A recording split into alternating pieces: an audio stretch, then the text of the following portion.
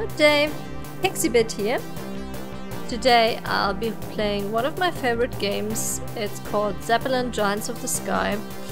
It is actually one of the games I wanted to make a video of first, but I wanted to wait till I was a tiny bit better at making videos for this gem. Um, Zeppelin Giants of the Sky was released in 1994. It was developed by Ikarion and distributed in like outside of Germany by Microprose.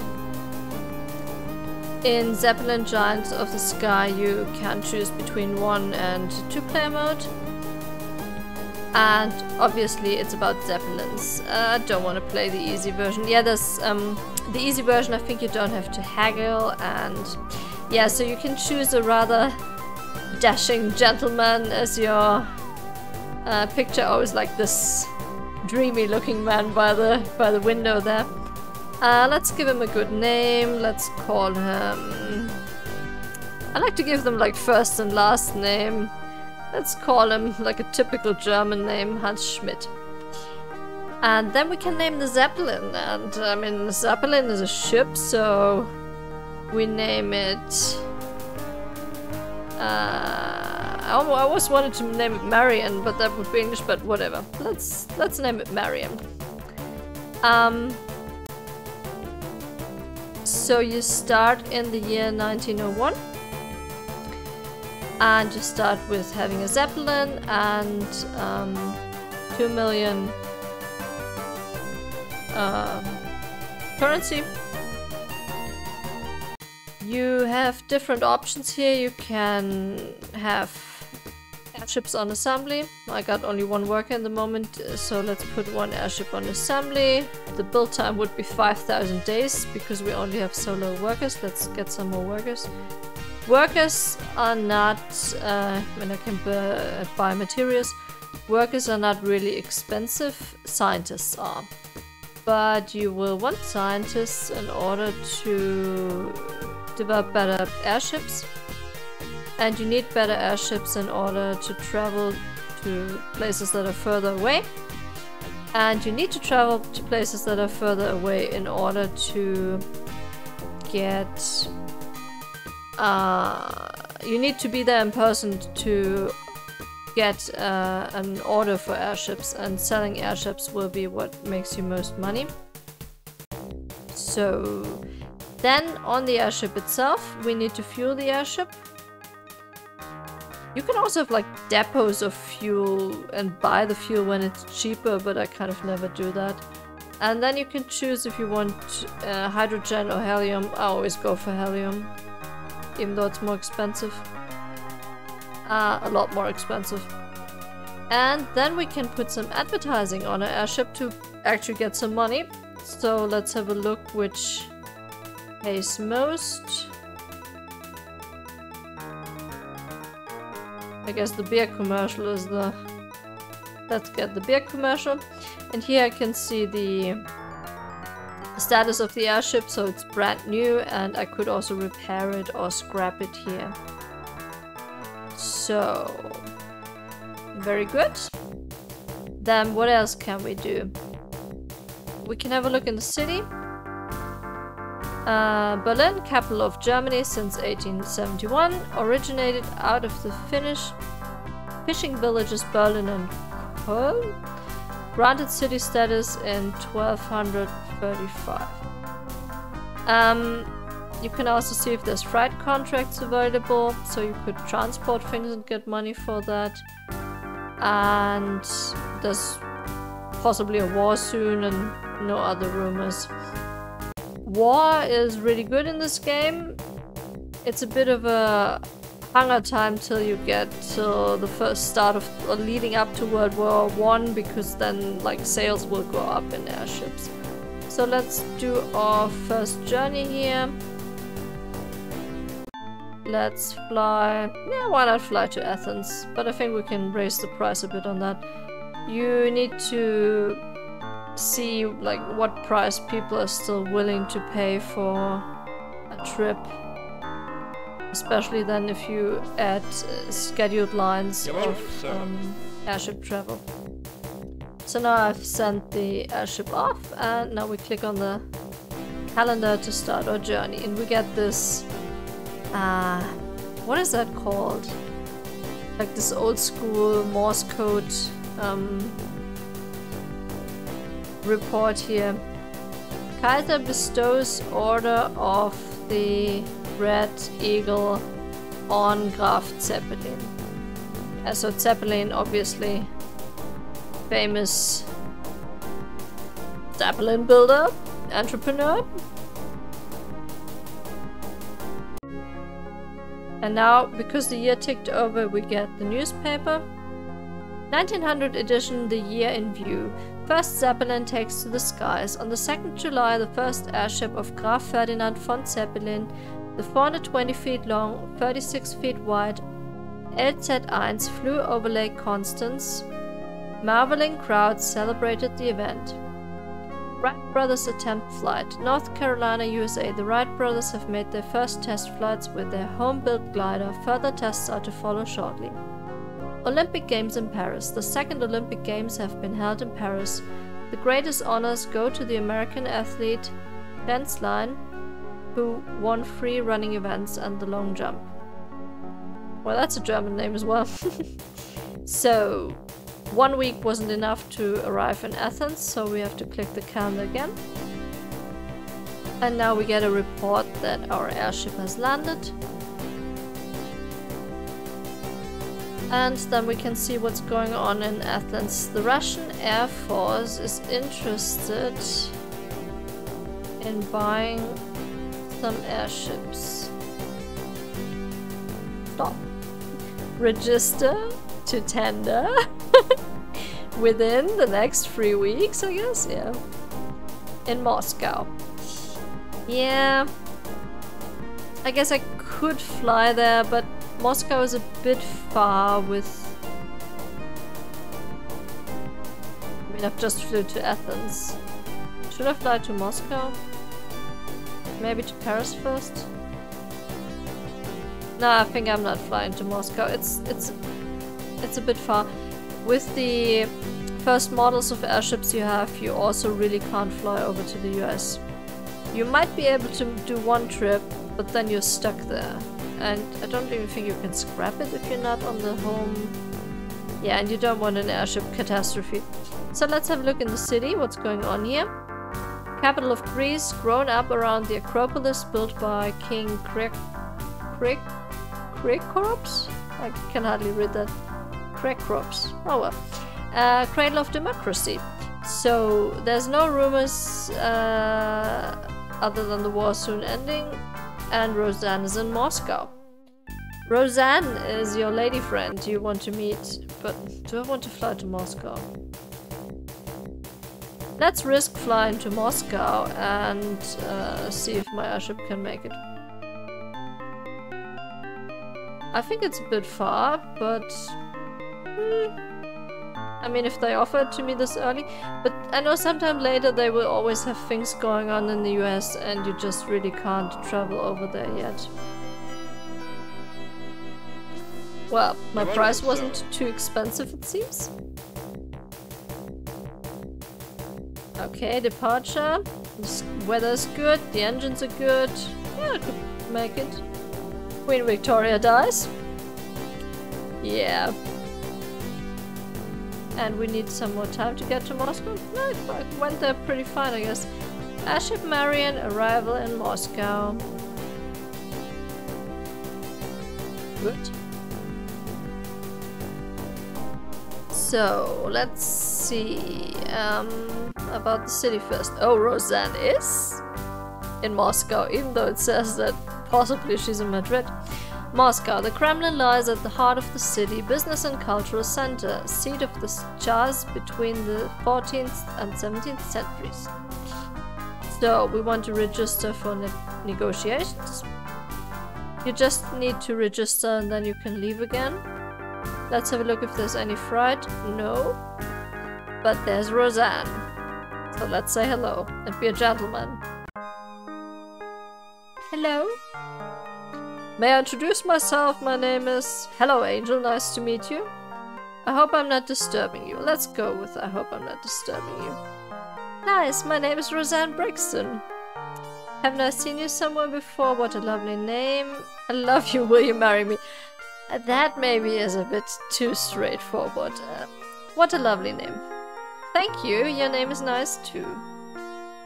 Um... How about joining me? Uh, that That's a bit straightforward as well, isn't it? Lovely weather today. Shut up about the weather! Oh, she's feisty. Um... Perhaps we could see each other again for tea. I hope we can meet again soon. I'm honored. To see you next time. So, and now we can no longer chat with her and we will need to see her again in a different city. And usually she likes to be in San Francisco, which is on the other side of the world. Um, and we can't go there for a long time. So, I think we should fuel the airship probably, yeah. And then we just fly to Berlin.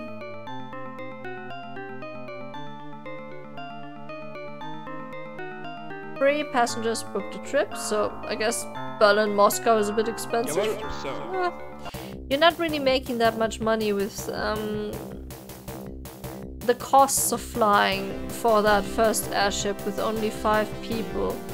It is a loss uh, to fly around, but you need to fly in order to be able to sign up for the most city. You need to fly because you want to register for the negotiations of selling airships and that's really important. Uh, because as I said sales of airships you make most money. So negotiations in Moscow. The Russian Air Force wants to order two airships competing for this contract are Hans Schmidt and one competitor for which both competitors make independent tenders. Per Zeppelin the competitor with the lowest tender receives the contract Okay, so I need to make a guess. I will go really low because I want to sell one. Um, obviously when you know the price is better than maybe... Oh, that's actually lowest I could go. I'm not going to go the lowest, but let's do it like this. Um, the contract for the supply of airships is awarded to Hans Schmidt. Payment will follow delivery of an airship. Get to work. Good, so we have a contract so we can uh, beef up our workforce. Let's get some materials and here I can see the... Um, you always want to have one on assembly because if you have zero on assembly the workers will just not do anything. Um, so let's get some more workers and we can see the, the ship price going up but we've said we would um, sell it for, what was it, like 270 uh, units, so we can...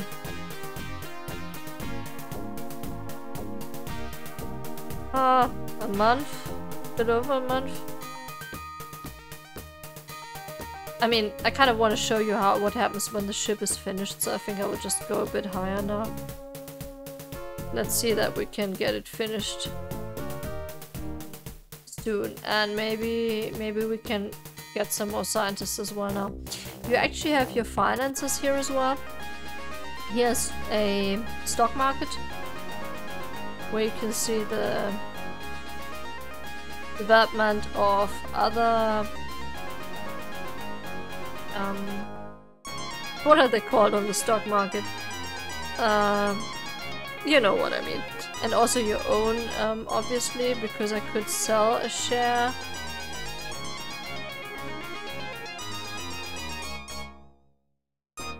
so we can issue some some of our own there. You can take on loans which you possibly need if you go in the red and you can see your balance sheet. Um, yeah, I'm getting some money from advertisements. Uh, the cost of my uh, wharf. Um, as you can see, the scientists are pretty expensive in comparison to dock workers uh, or workers. The dock personnel is something else again. Um, when you repair airships, you can also assign more people to that, and when you're not repairing them, you want to take that off again. Uh, yeah, I didn't really get much money. I did also fly, but where's that? Huh, I don't see it at the moment. Yeah, scheduled flights come later when you have bigger airships. With the five people airship, it doesn't make sense to open a scheduled flight. You would do that here. It's a bit funny how to set it up. You need to open an office first and everything, but yeah. And the funny thing is the management, sometimes the, the, the pro management doesn't really give you more money. Yeah. So, okay. Uh, how's my airship? Very good, very good. So let's just fly a short distance. Uh, how about to London? But we need to lower the price significantly. That maybe is one thing about the game that's a bit annoying that you need to like... You can't punch in a number, you need to... Is that a reasonable price for London? We'll see when the customers book. Oh, five booked, okay. Jawohl, sir. Jawohl, sir. Um, I will just play till we can deliver an airship and I think then I'll give you a little review. So we land in London. An interview with American Flight Magazine earns you a fee of 3,000 pounds. Yeah, you can have like random things, you can have donations or sudden costs, a fire in your factory, things like that. So the Bourbon soon to be ended is a rumor, we don't know where Rosanne is. London, capital of Great Britain, the seat of government and city of royal palaces. An ancient trade center named Londinum by the Romans. Any freight contracts? So, do you march from London to New Delhi? No. We're not flying to New Delhi. You need to be careful when you take a freight contract um, because there's also a penalty if you are not able to do the time. Sometimes there will just not be enough time to fly over. So we just fly back to Berlin then. I could have raised the price a bit, but... Jawohl, sir.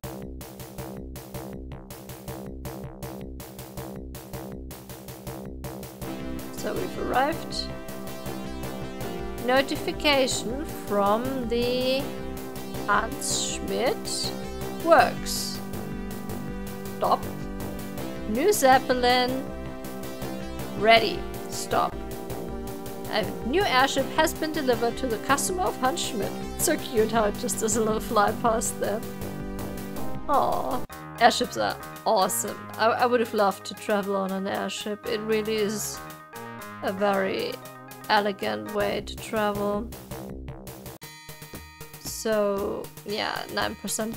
There's quite a few new airships to develop, so I really should be having more scientists, but scientists cost money. Um, but I mean, we've already made a profit with selling that one airship. So, I had a bit of a think about what... Um, I want to have a look at my notes here. Uh, what my review for the game would be. Obviously, I'm biased because I love this game. I've played it a lot more than I should have probably because it really is always the same timeline and everything. So I've had a hard time thinking about things I don't like about the game. I don't like the the clickety click with the numbers here. That that is a bit annoying that you can't put in a number, and it will lead to you just having lower prices because you can't be bothered with setting that correctly. Um, a con maybe would be it is a bit repetitive. I mean, once you've played it once, but I like to play it more than once. Um, and there isn't like much action or much visual action in in that sense. Uh, if that's what you want, but the the pros for me are these special um, sepia graphics that they had. This game is from 1994 and they could have had color but they choose this nice sepia color to make it look like old photographs and with that they actually achieved really good graphics for the time. Um, they call it like almost photorealism because I didn't know that but the eyes can distinguish better between the gray tones than between colors. So you get these nice shades here like basically a photograph yeah? So I think that's awesome. The music is absolutely lovely. And what I also like is the history snippets you get. You get like going up to World War One and all the major events you get these uh, annual newspaper reports, so that's really nice. If you haven't played it before and you like games that are not like fast-paced action, um, then I would say yeah, definitely check it out. It really is a lovely game. Well, that's the end of my video. It's probably already quite long. Thanks for watching and I will see you soon. Goodbye.